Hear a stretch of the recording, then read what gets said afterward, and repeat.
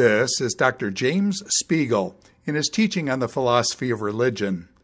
This is session number 12 Religious Pluralism.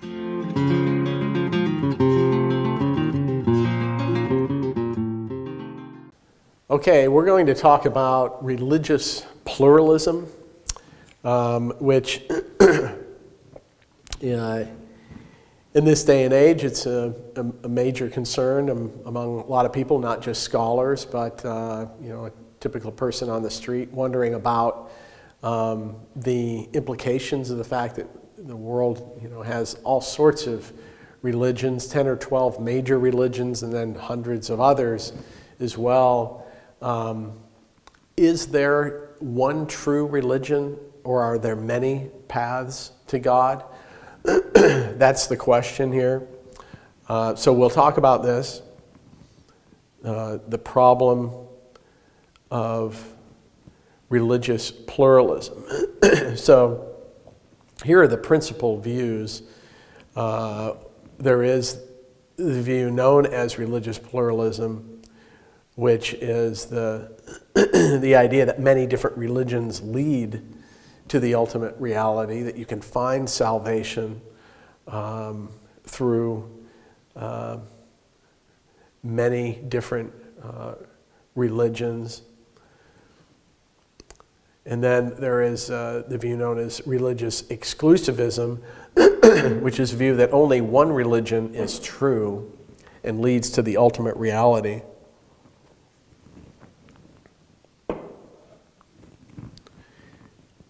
And then a lesser known view, which is known as uh, religious inclusivism, is the view that there is one true religion, but all religious devotees are covert followers of the true religion. So those are the, the, the three standard views pluralism, exclusivism, and inclusivism. So let's look at a major proponent of the pluralist uh, view, which is John Hick major philosopher of religion in the 20th century and into the 21st century. Hick uh, proposes that the various systems of salvation um, should be seen as, as he puts it, different forms of the more fundamental conception of a radical change from a profoundly unsatisfactory state to one that is limitlessly better because rightly related to the real. So we have all these different religions, um, all their different beliefs about God and their, and their various uh, practices, liturgies, and so on. And these are all different expressions of a kind of singular human drive uh, to find God and to find ultimate uh, salvation. And Hick argues that there's a deep unity here, even though the, the various religions, in many cases, look, look very different. There's, an, there's a kind of core um, commonality among all the different religions. He adds that we can only assess these different salvation projects, as he calls them, insofar as we are able to observe their fruits in human life.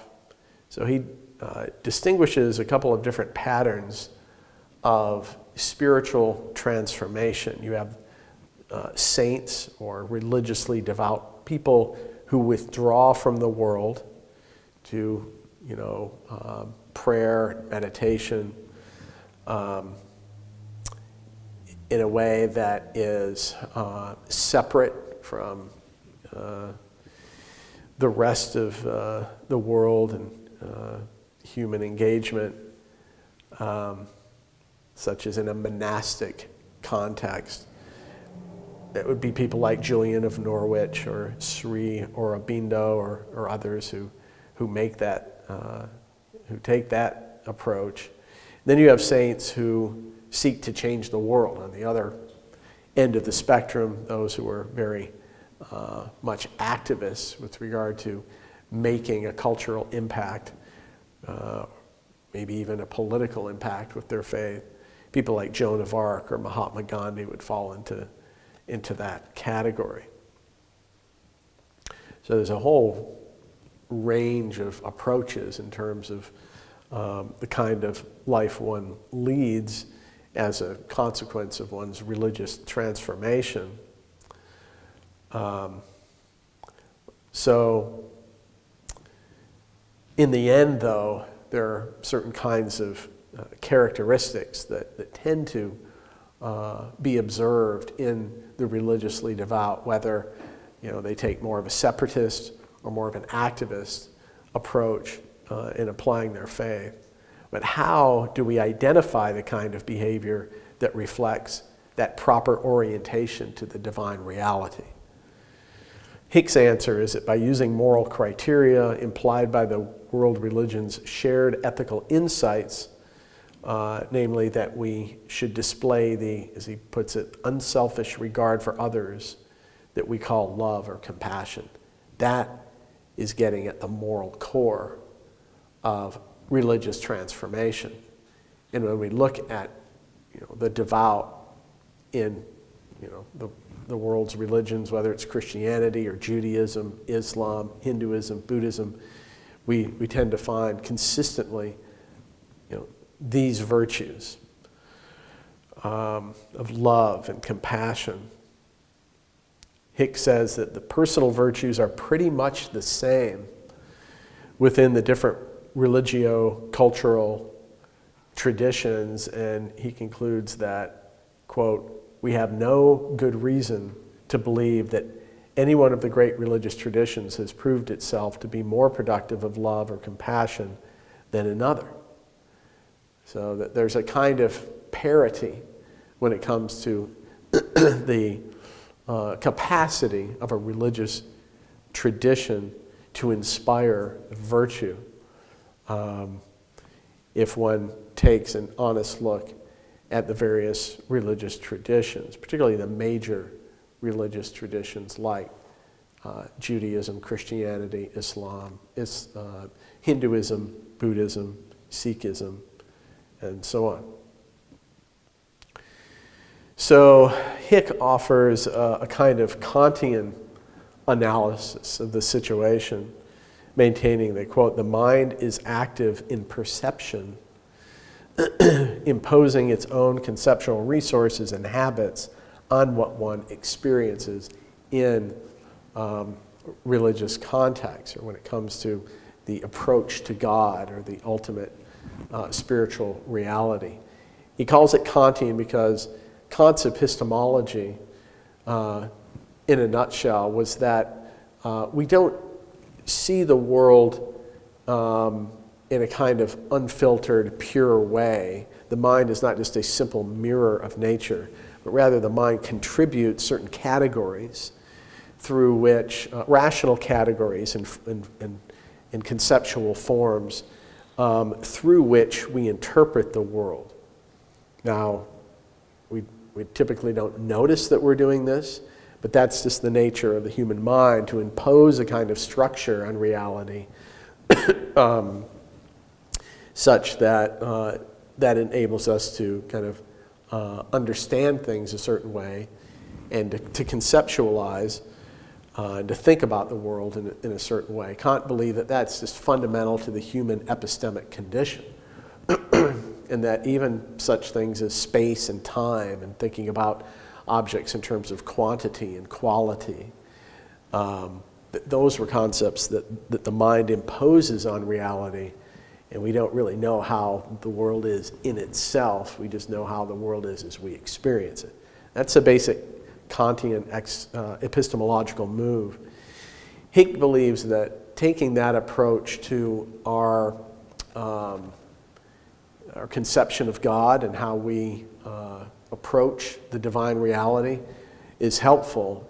Um, and he sees the, the, different religious perspectives as giving us rational categories that then we apply to um, our perspective on the divine. So, um, in light of all that, Hicks says that um, we make these two moves first postulate an ultimate transcendent divine reality that's beyond the scope of human concepts and direct experience. That we need to acknowledge there is a divine reality that is a kind of religious or spiritual in itself, to use the Kantian language, that exists independently of our thinking. That's the ultimate reality that's there. We're trying to get at this thing. Um, and the various, and this is the second point, the various religious deities and absolutes um, as manifestations of the real within different historical forms of human consciousness.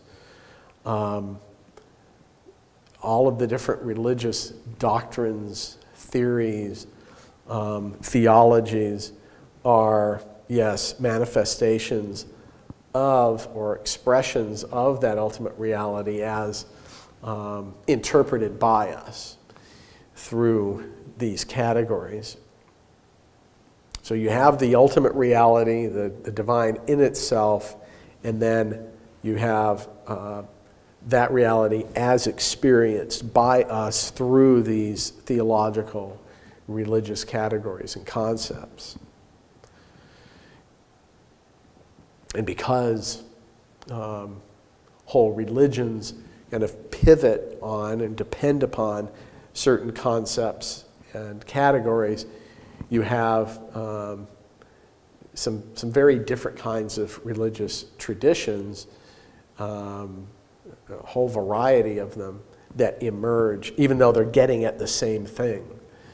Um, it's because the concepts and categories differ from culture to culture and time to time.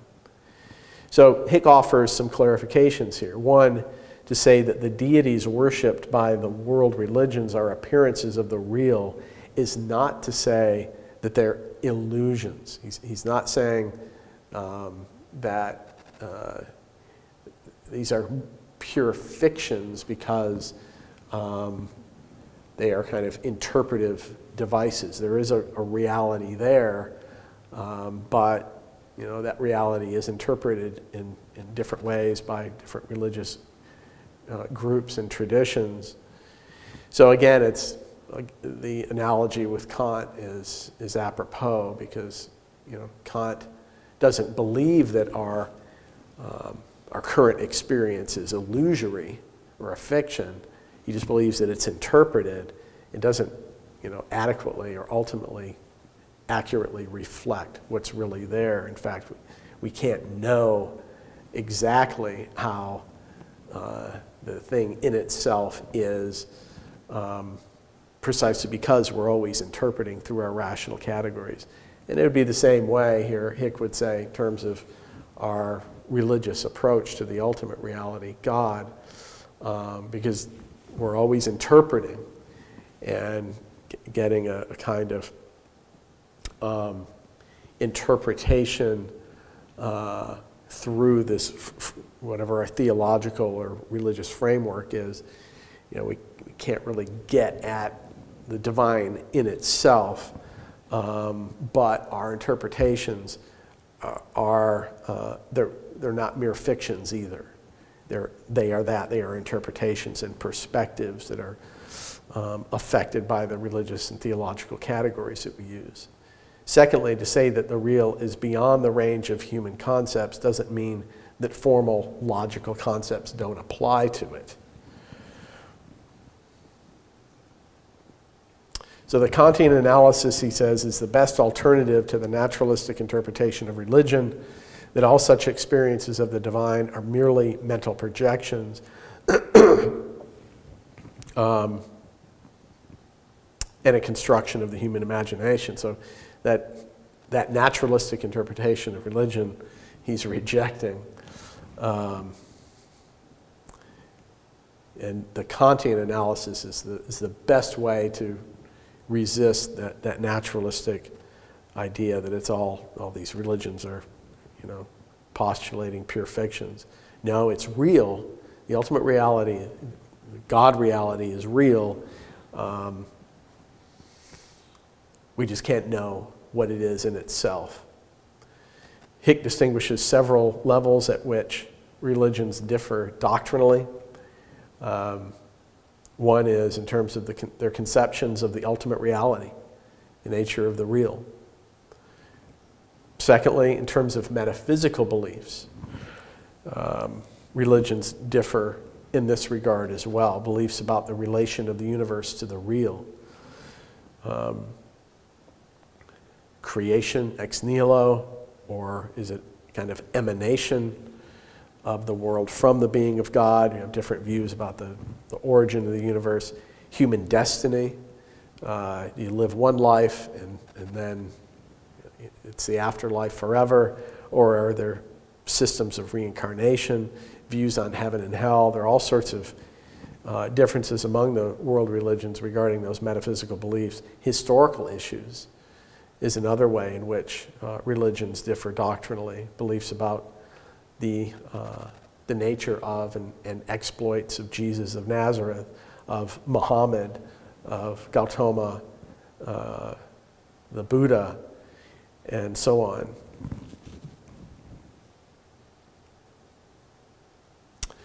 Hick concludes that we must reject the old exclusivist dogma that salvation is confined to Christianity. Um, he notes Karl Rahner's inclusivist view that, quote, devout people of other faiths are anonymous Christians within the invisible church even without knowing it, and thus within the sphere of salvation, end quote. And even a recent pope noted that every man, without exception, has been redeemed by Christ. Sometimes you'll hear people who are, um, who seem to be exclusivists, talk in at least inclusivist language. People who are theologically orthodox, recognizing that hmm, there is a certain wideness in God's mercy, as Clark Pinnock once put it. But does it go all the way, to, does it go the, the whole distance to, to religious pluralism of someone like John Hick, where, you know, all or at least many religions are equally effective at uh, providing salvation for the person who's, who's seeking God? Um, someone of a more exclusivist ilk, um, but I'd say a generous exclusivist is Keith Ward, the British scholar. Uh, Ward is critical of Hick and uh, or his pluralist view. And here's how Ward characterizes the pluralistic uh, thesis. Um, this is quoting Ward. He says, Religions provide different valid but culturally conditioned responses to a transcendent reality and offer ways of transcending self and achieving a limitlessly better state centered on that reality. That is Ward's way of summing up pluralism. Furthermore, on this view, all will or can be saved by adhering to their own religious traditions. You don't have to be a universalist to be a pluralist. You can be a pluralist without being universalist. You can be a universalist without being a pluralist. There's all sorts of combinations here. Um, but a lot of pluralists are universalists. Since all assertions affirm something, they must exclude something as well, Ward notes. For this reason, he says, quote, all truth claims are necessarily exclusive. Um, and he says that not all possible religious traditions can be equally true, authentic, or valid. There's incompatibility here when it comes to um, particular religions' claims about the nature of God and salvation and so on. To the extent that they make claims, then there is possibility for contradiction or mutual incompatibility of views. Um, so Ward rejects uh, what he calls extreme pluralism, uh, presumably the notion that all religions are equally true. That's just not, that's just not possible, since they make competing claims. But then Ward distinguishes a version of pluralism that he calls hard pluralism, which is different than what he's calling extreme pluralism. Hard pluralism being the view that many major religions, quote, do not contain mutually exclusive beliefs about, or beliefs, but are equally valid paths of salvation and of authentic experience of the real. Again, there are many incompatible truth claims that divide religions, so this is problematic uh, for hard pluralism. Here, um, Hick, or um, a hard pluralist, might reply that that's irrelevant to knowledge of the real and the salvific process, just because you have incompatible truth claims. Um, it is still possible that these different religions can be equally effective in, uh, as means of bringing believers to salvation.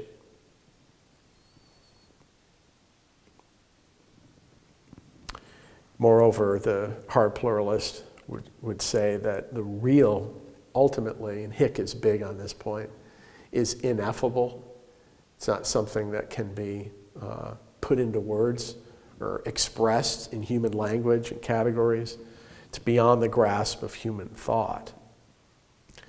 Ward makes a, I think, a, a, uh, a good response here. He says that if the real is ineffable, if the ultimate reality is beyond the grasp of human thought and language, then how can we know it, it, that it exists? Um, can you have it both ways? Can you maintain that something is beyond human, the grasp of human thought and language, but then uh, be confident that it's even there? So that's a problem for, uh, for hard pluralism. He says if no truth claim can apply to the real, then how can we say anything about it? You know, how can we theorize as as Hick does to this extent that he's confident there's this ultimate reality that transcends all of the particular religious categories. Um, if it is so transcendent, how can we know for sure that it's there or have any confidence that there is this ultimate reality beyond the interpretive, religious, and theological frameworks that we supposedly apply to it? And if the real is unknowable, how can we know that all claims about it are equally valid? Um, you would have to know what the ultimate reality is in itself to be able to assess the different theological and religious frameworks' uh, attempts to interpret it. So there seems to be an inconsistency here in terms of claims about the unknowability of the ultimate reality uh, and, and implications that, well, we can know enough about the ultimate reality to know that the different religious traditions are roughly equal in their uh, accuracy in interpreting this, this reality. Ward notes that Aquinas, Thomas Aquinas, maintained that we do have genuine, if analogical, knowledge of God, but we cannot comprehend God's nature in itself. It's God's essence that is ineffable. Um, the, this Thomistic view affirms that our recognition of divine ineffability is based in a genuine knowledge of God. So, you know, uh, Aquinas is certainly no Hickian pluralist here. We do have genuine knowledge of God, even if it is analogical knowledge, it's real. Um, and even if we're limited in terms of our ability uh, or walled off from our ability to really grasp the, the true essence of God. We, we have knowledge of God nonetheless. So the, the error, the, the Kantian error that Hick makes, according to Ward, um, is this that Kant maintained that the noumenal reality is the cause of all of the phenomenal ex- experiences that we have. Um, but in maintaining this, Kant, quote, applies the categories of the mind beyond the permissible range of cognitive meaning, as, as Ward puts it. Um, he's, he's claiming, he he's claiming more knowledge than his epistemology really entitles him to, to claim. Um, if the noumenal or the in itself is, is uh, beyond the reach of human cognition, then, then how can he say as much as he does about it? Ward says that, that Kant, or that like Kant, John Hick is, quote, unable to renounce theoretical claims about the real entirely. It's, it's, it's irresistible. Even when you're, uh, in, even in the context of making claims in defense of religious pluralism, Hick can't help himself terms of making claims about the ultimate reality that he says that we can't ultimately know. Furthermore, Ward says that Hick doesn't go far enough in making assertions about the real. He says it would be better if he abandoned the Kantian line that the real is noumenal or ultimately beyond the, the reach of the human mind and simply say that the real is an ultimate unity of reality and value. That would be better. Um, that would be more in, uh, in, in sync with uh, an exclusivist perspective.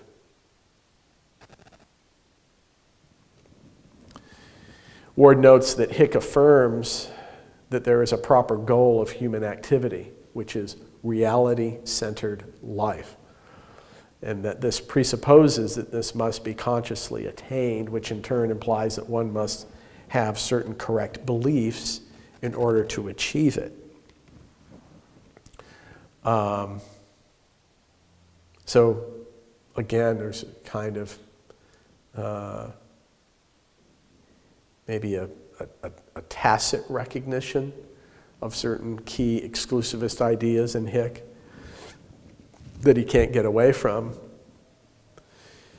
But um, if that's the case, Ward sa- says we may ask what sorts of beliefs must one hold in order to be saved? This, this raises a very interesting question.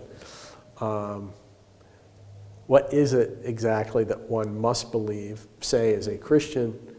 Um, in order to achieve salvation. To what extent are beliefs even necessary?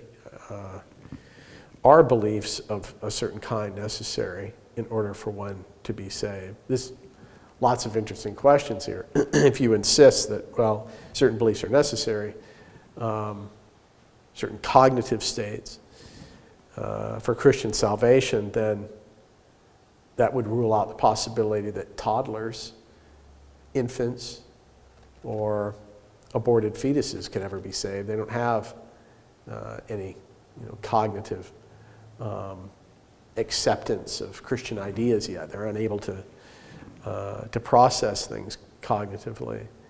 But every Christian I've ever known has, has maintained that at least many, if not all, infants and uh, fetuses that die in utero are saved. So clearly, God uh, is capable of and, and does, if one holds that view, save many people who don't have any kind of cognitive embrace of, of Christian truth. Um, so, do things change as one gets older? That would be a standard view that once you reach a certain age of kind of cognitive maturity, then it becomes a requirement. But what is that age? There's a, there's a, there's a kind of vagueness problem there. Um, so the whole question of uh, kind of um, accountability, rational accountability, in terms of um, salvation questions, is a very interesting one that's that's related here. So you're right. This is the question that all of us uh, who are theists, and Christians in particular, need to wrestle with, whether one is an exclusivist or an inclusivist um, or a pluralist, what exactly is the necessary condition for salvation? Ward's response is that metaphysics is not what saves us. For Christians, the act of God establishing creatures in knowledge and love of Him does that. And I think that's a um, that's certainly a, a safe and correct claim. God is the one that establishes us in our salvation. But still, this is a separate question, even if you want to look at it as kind of manifestations or symptomatic of the fact that God is working salvifically in one's life, what sorts of uh, consequences or indicators of that will there be uh, for us cognitive, cognitively in terms of our beliefs? You could talk about in those terms. What are the, what are the indicators of salvation uh, cognitively for human beings? Here's um, here Ward suggests another version of pluralism which he considers defensible and important. He calls it soft pluralism, the view that the real can manifest in many traditions and humans can respond to it appropriately in them. Um, which really sounds a lot like religious inclusivism. Uh, the inclusivism of someone like a C.S. Lewis. He was a, a sort of Christian inclusivist. Um, that God can and does work in Christian salvation in the hearts of certain people um, in even other religious contexts or in um, situations or contexts where there's not even uh, a formal religious uh, system embraced by a person. So, according to the Christian inclusivists, there's one exclusive truth regarding uh, the way of salvation for human beings, and that's through Christ, uh, through the applied grace of God uh, in a person's life, but that God can do this outside of context of uh, formal Christian religious practice. The question is, well, in what form does that take? Well, it, it could take any number of forms, uh, depending on the situation. So that would be more of an inclusivistic approach. I think that's what Ward is getting at here. So to summarize Ward's critique of uh, Hick's pluralism, um, Hick's pluralism affirms again that there is something wholly unknowable that is the ultimate reality, ultimate divine reality. All experiences of it are equally authentic, and all paths to fuller experience of it are equally valid. The problem is, as Ward has maintained, if it is the case that there's something wholly unknowable, that first proposition is true, then the second and third propositions can't be asserted. We can't know that all experiences of it are equally authentic. And we can't know that all paths to fuller experience of it are equally valid. So, um, you know, Hick is making claims that he just has no way to rationally justify. Uh, so, that is uh, Hick's pluralism, and that's Ward's critique of uh, religious pluralism.